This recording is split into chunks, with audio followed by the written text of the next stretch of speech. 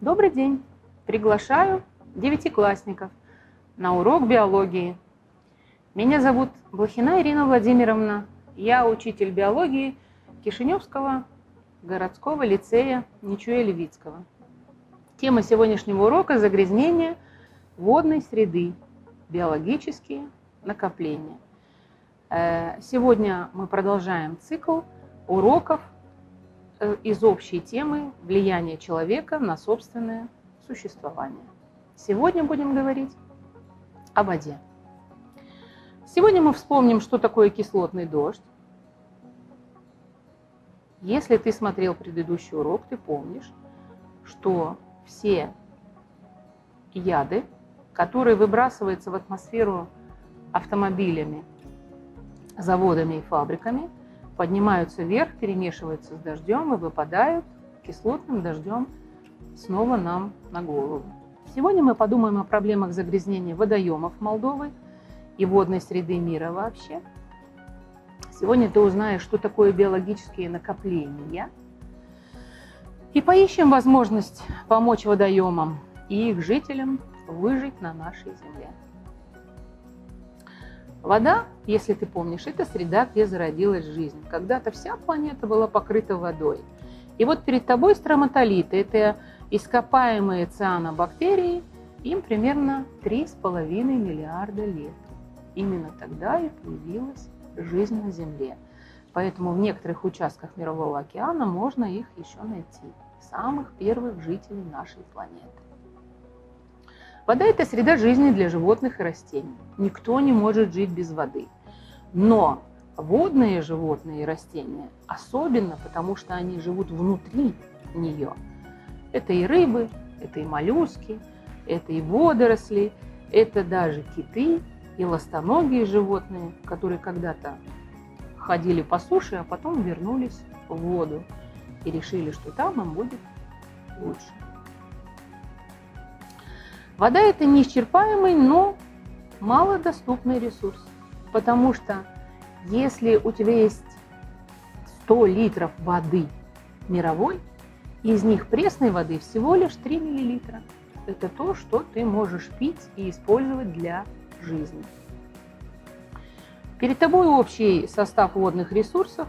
Это воды суши, реки, озера, подземные воды, болота. Это воды Мирового океана, это соленая вода.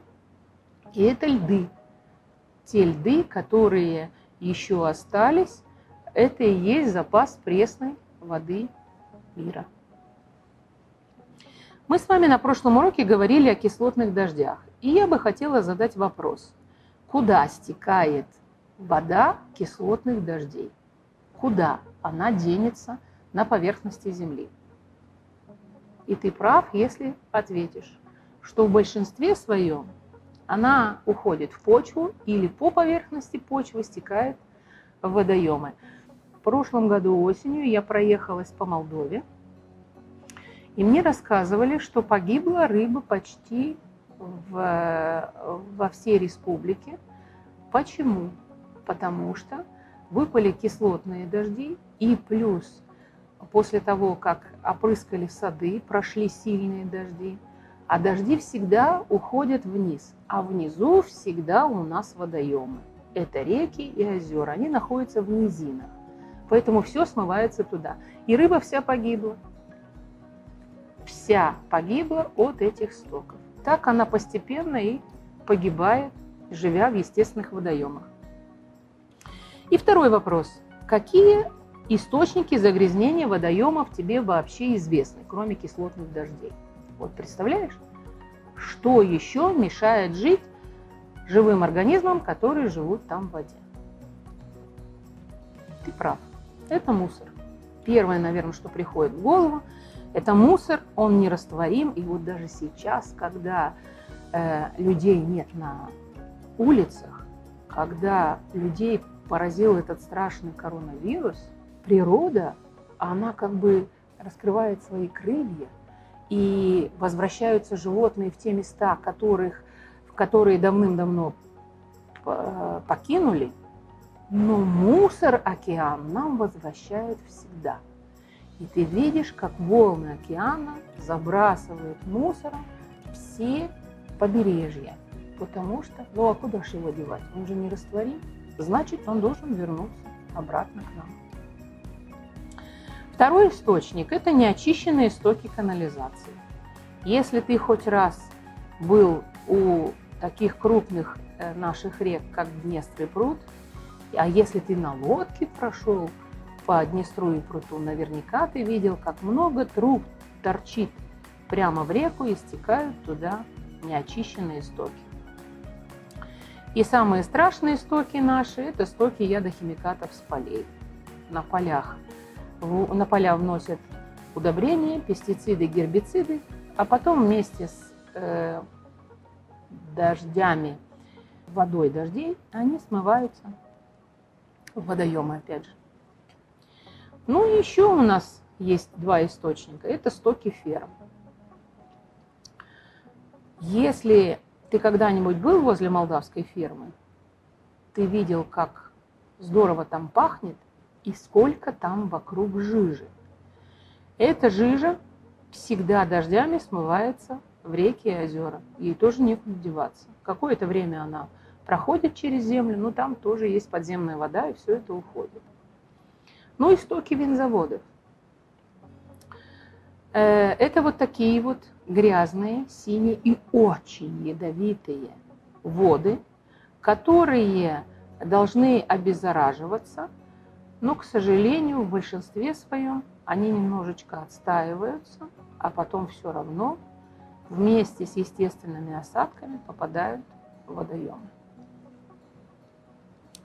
Второй вопрос, который мы с тобой должны сегодня рассмотреть, это что такое биологические накопления. Представь себе, что в водоеме плавают мелкие рачки. Эти мелкие рачки питаются микроскопическими частями водорослей и бактериями.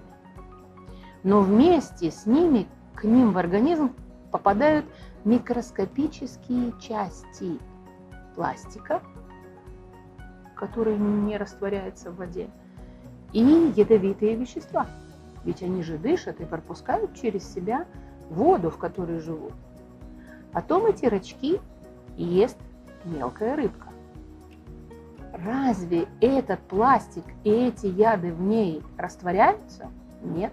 Наши пищеварительные соки никак на них не воздействуют, значит, они оседают. Оседают в печени в первую очередь, в почках и во внутренних органах рыбки. Если крупная рыбка съела мелкую рыбку, разве в ней это растворилось или расщепилось каким-то образом? Ни в коей мере.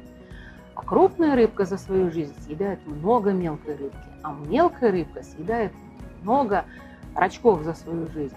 А мы с тобой за жизнь съедаем много крупной рыбки. Значит, все это приходит к нам. Вот что такое биологическое накопление. И вот ты видишь эту пирамиду, трофическую пирамиду, кто кого ест. Если съел, значит все, что накопила твоя пища, все это остается и в тебе. И вот перед тобой водоемы, которые э, погибают вследствие загрязнения. Это называется эвтрофикация – это насыщение водоемов биогенными элементами, азотом и фтором, вследствие того, что э, в них накапливаются ядовитые вещества. И в результате там погибают все живые организмы.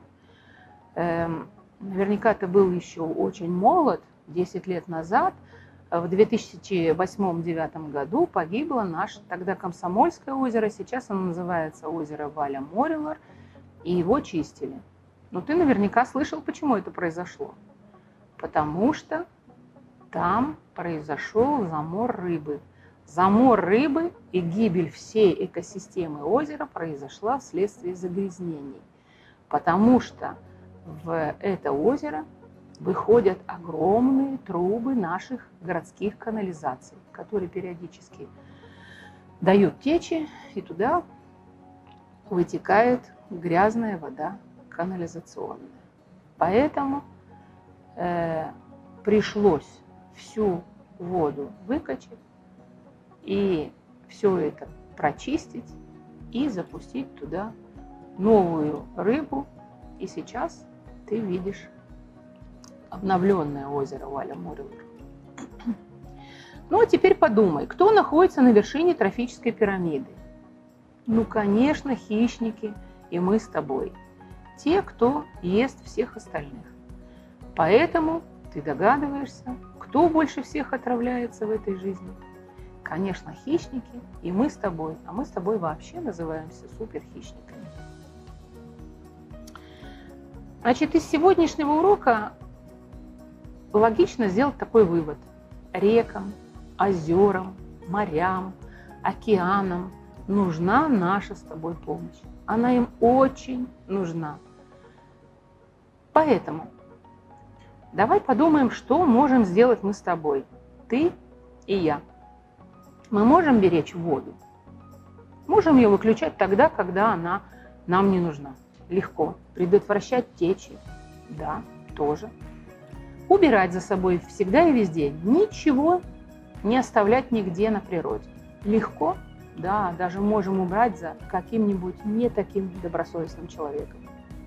Можем ли мы ходить в магазин со своей сумкой и не брать целлофановые кулечки? Легко. Можем не жечь костры. Тоже можем. Сложнее, но все равно можем. Можем ли мы беречь вещи и если они хорошие, просто делиться с подрастающими э, товарищами, которыми они будут по размеру. Можем не выбрасывать их, а делиться. И я тебя призываю участвовать в конкурсе, который называется «Акварели Днестра». Этот конкурс э, в этом году проходит 12 раз.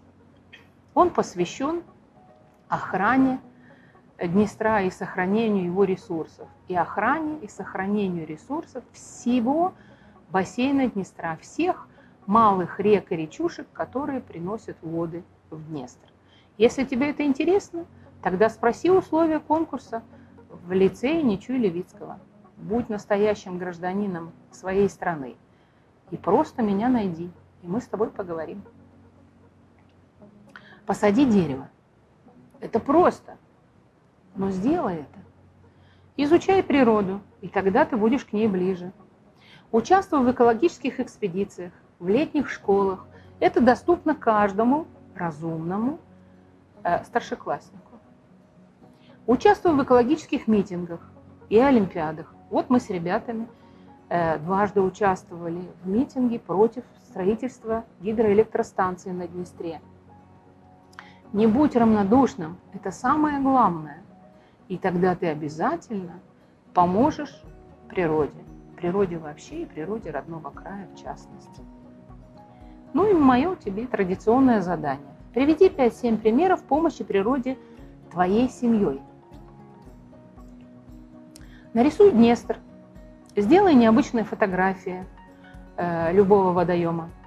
Сфотографируй растения и животных, живущих у воды. Напиши рассказ, эссе, сказку, песню – научно-популярную статью о Днестре и его притоках. Найди нас на сайте, участвуй в конкурсе и побеждай. На этом я с тобой прощаюсь сегодня и надеюсь, что мы снова встретимся. Надеюсь, что ты выполнишь все мои задания. До свидания.